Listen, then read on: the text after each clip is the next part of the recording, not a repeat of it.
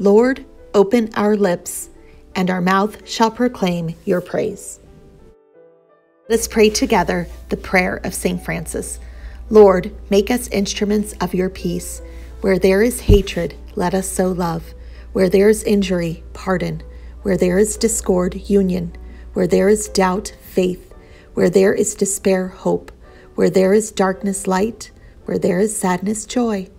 Grant that we may not so much seek to be consoled as to console, to be understood as to understand, to be loved as to love. For it is in giving that we receive, it is in pardoning that we are pardoned, and it is in dying that we are born to eternal life. Amen. The prayer of St. Andrew. Come, Holy Spirit, fill the hearts of your faithful at St. Andrew's Academy, and kindle in us the fire of your love. Draw our hearts to you, guide our minds, direct our imagination, and mold our wills, that we may be truly yours, absolutely dedicated to you. Bring us all to be one heart and mind within your holy church, and use us as your will for your glory and the welfare of your people. Through Jesus Christ our Lord. Amen. Together, let us proclaim Psalm 15. The just will live in the presence of the Lord. Only those who obey God and do as they should speak the truth and don't spread gossip. The just will live in the presence of the Lord. They treat others fairly and don't say cruel things. Those who do these things will always stand firm. The just will live in the presence of the Lord. A reading from the Holy Gospel according to Mark. Some Pharisees and several teachers of the law of Moses from Jerusalem came and gathered around Jesus. They noticed that some of his disciples ate without first washing their hands. The Pharisees and all other Jewish people obey the teachings of their ancestors. They always wash their hands in the proper way before eating. None of them will eat anything they buy in the market until it is washed. They also follow a lot of other teachings, such as washing cups, pitchers, and bowls. The Pharisees and teachers asked Jesus, Why don't your disciples obey what our ancestors taught us to do? Why do they eat without washing their hands? Jesus called the crowd together again and said, Pay attention and try to understand what I mean. The food that you put into your mouth does not make you unclean and unfit to worship God. The bad words that come out of your mouth are what make you unclean. Out of your heart come evil thoughts, vulgar deeds, stealing, murder, unfaithfulness in marriage, greed, meanness, deceit, indecency, envy, insults, pride, and foolishness. All of these come from your heart, and they are what make you unfit to worship God. The Gospel of the Lord. Good morning, everyone, and welcome to our Wednesday chapel. It's me, Mrs. Edwards, and I'm coming to you from the Christian Ed Room as we are growing in God's Word, right? This year, I love this bulletin board. And so, what did we hear today when we think about God's Word? I'd like to talk to you a little bit about that. Um, our gospel from Mark today and what Jesus says to us. I want you to touch your heart because I think today's gospel is about what's in your heart and making sure that your heart is healthy and clean and full of good thoughts.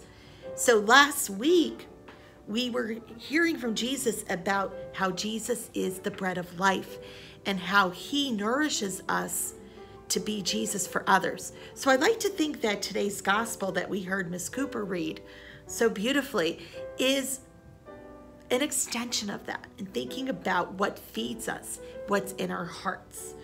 And so let, let's break it down a little bit for you. So in Mark's gospel, we hear that there were several teachers from the law of Moses who gathered around Jesus. So these are people who really knew the laws of Moses, those commandments that we talk about, how to love God and how to love others. They were like the experts, the teachers, right? They knew what they were all about. And they noticed something as Jesus was gathering with his disciples that some of these disciples were eating without washing their hands. So think about that for a moment. Just maybe the physical aspect of that, right?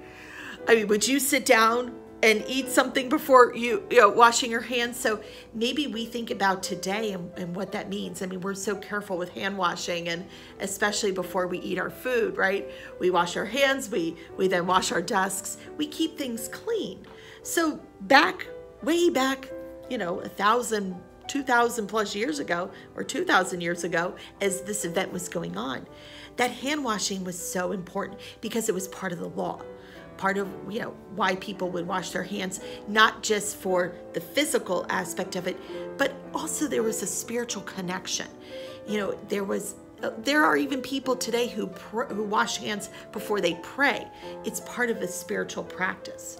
So they questioned Jesus. They said, "You know, um, Jesus, none of your disciples washed their hands before they ate. And and we're taught that you know we wash our hands and we should wash our pitchers and our bowls. Um, and so why don't they wash their hands? Why didn't they do this? And what does jesus tell them? He looks at them and he says two words. If you know the two words you could say it with me. Pay attention. He says that to them in the gospel right?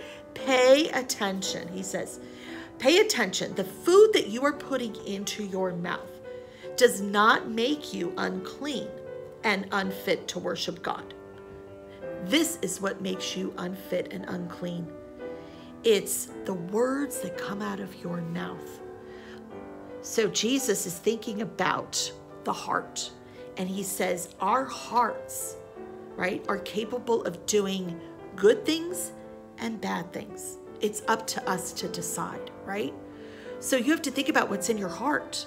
And Jesus says it's more important that you clean your heart, what's inside, than it is to wash your hands. When you clean what's in the heart, what then comes out is already clean. So that's Jesus' message. Are you paying attention? Well, we have wonderful teachers in this school. So I sent an email out to some of the to the teachers and I said, "Could you help me with today's gospel lesson? What keeps you clean and your thoughts full of good things because our teachers are so good and they always have good things to share and to teach us. Okay, so I'm just going to pull these up here. Um, I asked them for their favorite gospel or Bible words. You know, what do they what do they like in scripture that helps to keep them pure and clean of heart? And so I want to share one with you. This is from Mrs. Williams, our wonderful art teacher. Her favorite scripture is from First Corinthians, and it goes like this it's about all the attributes of love. And this is what it says. This is from First Corinthians. Love is patient, love is kind. Love does not envy or boast. Love is not arrogant or rude. Love does not insist on its own way. Love is not irritable or resentful. Love does not rejoice at wrongdoing, but love rejoices within the truth. Right? Love. That was beautiful. Thank you, Mrs. Williams. And then Mrs. Starnes, she shared this one. She says, My favorite Bible verse is from Galatians 6 9. Do not grow weary in doing good, for at the proper time you will reap a harvest if you do not give up. Do not grow weary in doing good, for at the proper time you will reap a harvest if you do not give up. That is just beautiful. Do you feel like you're being fed right now? Right? These beautiful, our hearts are getting full of these beautiful words. Well, we have some more. Mrs. Chiochi shared this, and this is from Matthew um, 28 20. Jesus says, I am always with you I am always with you. That's one that's in my heart right now, speaking to me. Thank you, Mrs. Chiochi. And then our kindergarten classes, they're actually learning something really cool. They're sign language. They're doing sign language with Proverbs 17 17. A friend loves at all times. A friend loves at all times. Wow, think about all of these scriptures that we heard today, and they all have to do with love. So here's what we're going to do we're going to do some, um, we're going to get up, we're going to learn some sign language. Are you ready? So we're going to sign language Proverbs 17 17. A friend loves at all times. So this is the sign language for friend. So it's like this, okay? It's like you're hooking your fingers together. This is friend, okay? A friend, a friend, a friend loves. So this is loves.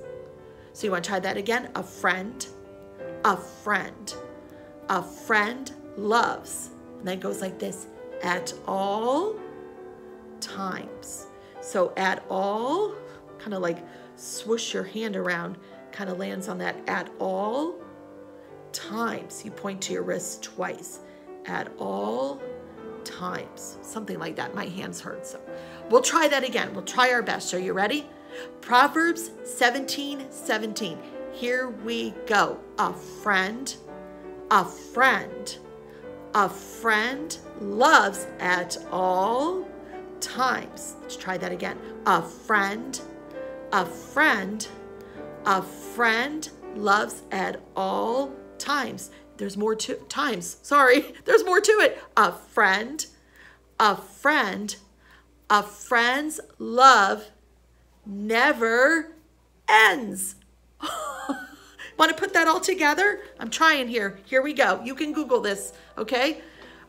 Sign language, Proverbs 17 17. A friend, a friend, a friend loves at all times. A friend, a friend, a friend's love never ends. Amen. Amen. Pay attention. Think about this week finding God's word. Find something of God's word. Be on the lookout and feed your heart with it. Because that's what cleans your heart. And then share it with others. Share it just like our teacher friends shared with us today. And I want to thank all the teachers for sharing. So, how about we do this? Let's all keep standing. And another thing that cleans our heart is prayer. So, we've been learning a special prayer so let's go ahead and together say the prayer that Jesus taught us. Our Father, who art in heaven, hallowed be thy name. Thy kingdom come, thy will be done on earth as it is in heaven. Give us this day our daily bread and forgive us our trespasses as we forgive those who trespass against us. And lead us not into temptation, but deliver us from evil. For thine is the kingdom, the power, and the glory forever and ever. Amen. And may the Lord be with you. May his face shine upon you.